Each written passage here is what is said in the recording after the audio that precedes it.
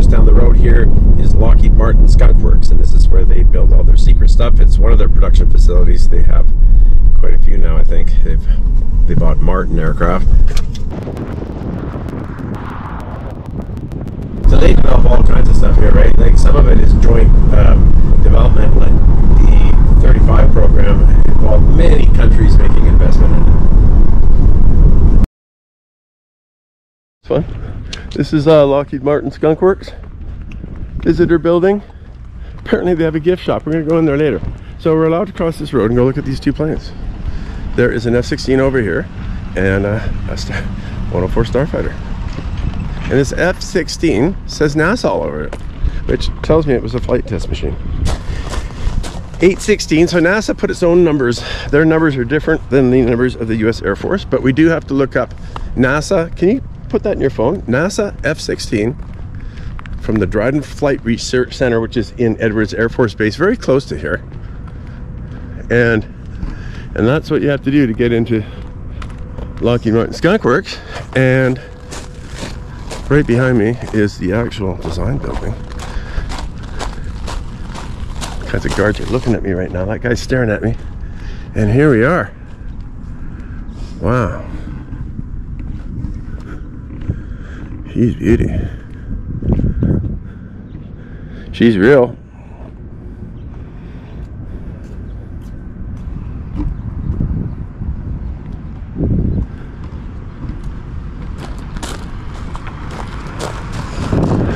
I believe that's the design building over there. And they've got a really neat airplane sticking out in their front there too. They got some airplanes up on posts.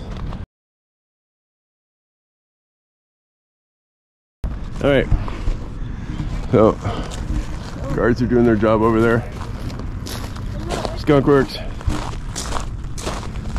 NASA F-16. I think this most bizarre thing. Must be a cover for parking it. And there's like dirt in the pitot tube. It's bizarre looking instrument. For air data recording. Civil registered F-16 in existence. It's the only civilly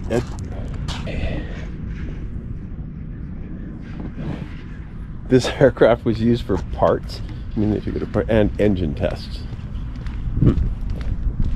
No. They're very maneuverable airplanes.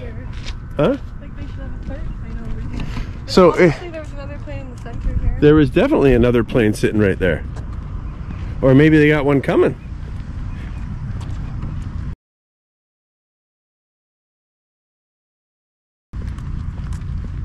And this is an F-104 Starfighter. Again, NASA all over the place. So these are research I aircraft. like the color scheme. That might be faded orange, like that might have been a bright orange a long time ago. So this is your first Mach 2 aircraft, and this is a Kelly Johnson machine. Part two, you think? Pardon me? Parts there. Wanna take a piece of it? They look like protection covers for something. But this thing's this thing is just a they called it a missile with wings. Like man and a missile. That's what they called this thing. And these were operational. They flew a bunch of them. Canada bought some too. A whole bunch of air um, air forces bought them. Germany. 4,442 Huh? flights this plane did. This plane did how many flights? 4,442.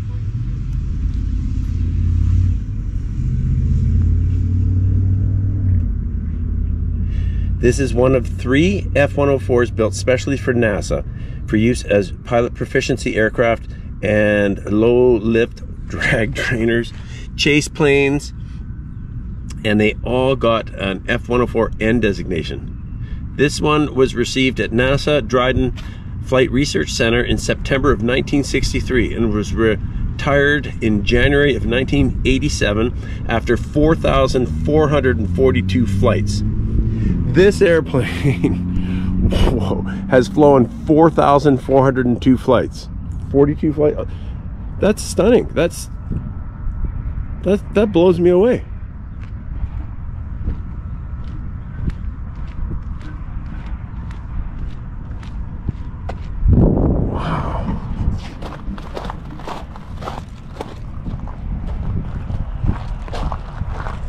I got a bit of a sticker. Go up. I can do this. How about that? A look around. It's a little dusty. I can't see in there. Kind of point the camera over this way. Here's your Lockheed Lockheed Martin Skunk Works design facility. And Jackie O on the road, Norman Jack this time. Got Jack to come out. Well, that's amazing. 4,400 flights in this thing. Holy smokes. I wonder if that's the original landing gear. I wonder if that's the original anything. How many times did they swap out the motor in that thing? Probably a bunch. All right. Skunk Works. Visitor station. Let's go inside.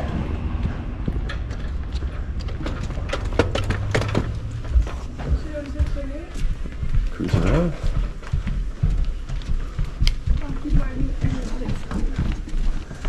store. Lockheed Martin has a Skunk Works store. Oh, that's nice material. Oh, that's nice material. I must have one. But look at blue, it's got a skunk on it. They got long sleeves. That's a long sleeve. Yeah. That is it. Look, it says Lockheed Martin on the sleeve. Oh my oh, goodness. Oh, golf shirts. Look at them all.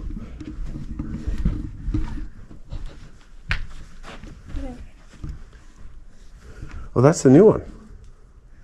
Skunk. Oh, look at that. Um, hmm.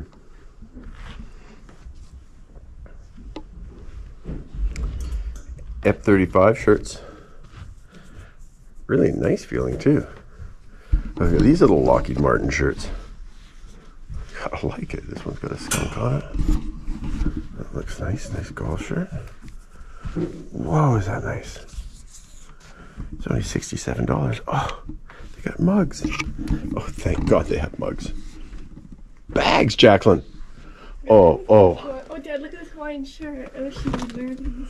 oh! Come on, this is like a this is like a cooler bag for lunch. You have a Hawaiian shirt of F-35s with a C-130. These are all Lockheed airplanes because there's a modern U-2. Shorts. Oh, and a jacket for this jacket is only fifty-one dollars. That's a bargain. But get back to these bags. You, these are like um your little your headset bags. An F-16 Lockheed Martin headset bag, computer bag, a Lockheed Martin computer bag.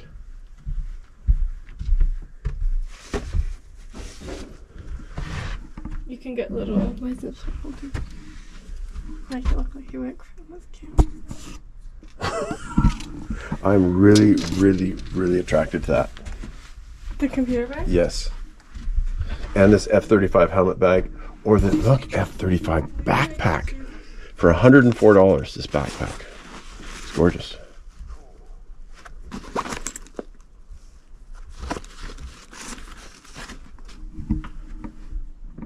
And those are little coolers. Suit bag.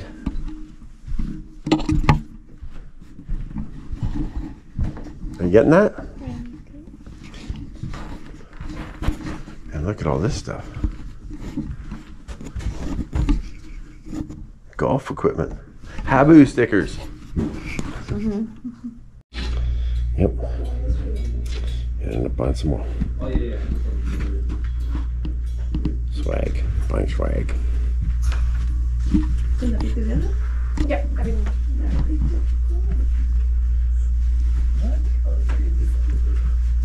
I am. Oh boy, look at this stuff.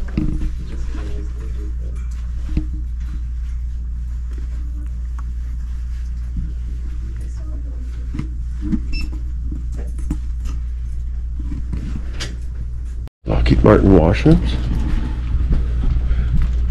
Snacks. Pop. Lockheed Martin snack. What is this? Some Wi-Fi check-in. Visitor center. Security administration. Peek in there. Ooh, look at that. You have to go into this room first, and then you go down there.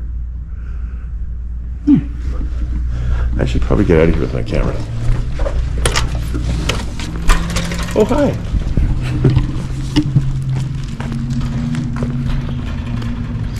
well, every time I leave one of these places, I got stuff with me. How much does this thing cost? 105 bucks. Is the Carhartt? Yeah, I mean, uh, it'll last pretty long. I'm a sucker for Lockheed Martin. It's the only aircraft stock I ever made any money off, by the way.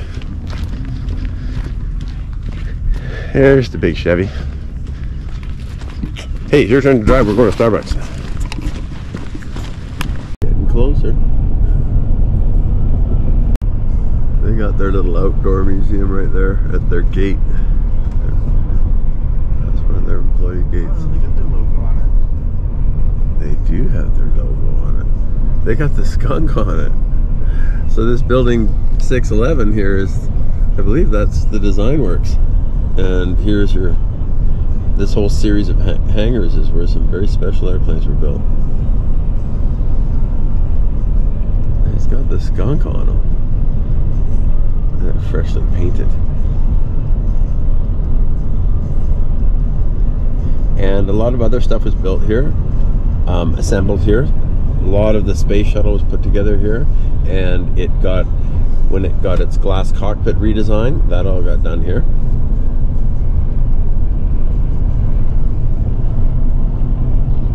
Surrounded by Joshua trees. And way off in the distance there, that is the civilian side of Palmdale Airport. And actually, way off in the distance, a little to the left, is only something like 20 miles away. Is Edwards Air Force Base, where pretty much everything here went off to be tested at. If it was super secret, it actually went quite a bit further, about 100 and something miles further to Groom Lake, which is now called Area 51.